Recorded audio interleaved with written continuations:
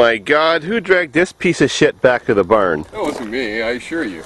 Oh, I wanted to crush this thing with a dozer, but not enough good-looking women showed up this weekend. Um, why have you been working on this thing all day? Uh, to make it live again. Chevys are supposed to die someday. Everything's supposed to die. I killed this car. You killed it three times, and guess what? Hopefully, if all went well, you get to do it again. Ha! Okay. Well, he's been working this thing all day, taking rod bearings out Two spun bearings.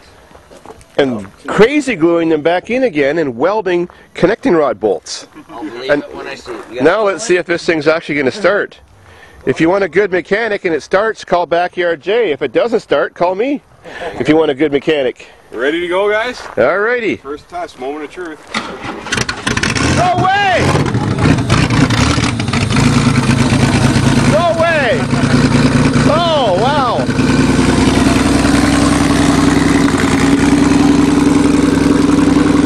Can't believe it.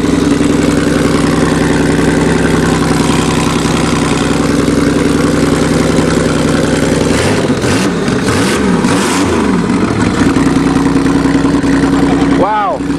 I think you better sign your name on it. Yeah. Well, the reason it seized up while it went off the cliff is because it had, what about four out of five parts to one water to, compared to oil? It's in there if you want to Yeah, like, yeah, let's show you what came out of this thing. So here we have what came out of there, which is about three times more liquid that was supposed to be in the oil pan. Looks like coffee to me. yeah, if you had a car like that, it would seize up too. Now we got to see if the transmission still works, because it's all full of water too. Yeah, let's give it a shot. And you know, I had this car all prepared for scrap metal. Yeah, well, too bad. And guess what I did? I cut all the wires through the computer. And I never expected Jay would ever come back and try to get this thing running, so he reattached every single one of them. And the thing ran, and that computer's been under the water twice. Hey, show them the radio still works. A submerged radio. Twice. See that?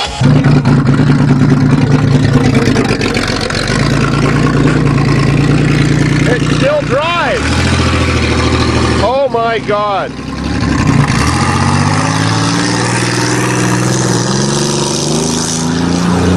No car has ever taken that much abuse at Davids farm and lived to tell the story. Chevys never die. Well, go to Backyard Jay's channel and watch his own video where he took the crankshaft all apart and took the rod bearings out and fixed it to see that this is a real true story. And he made it back.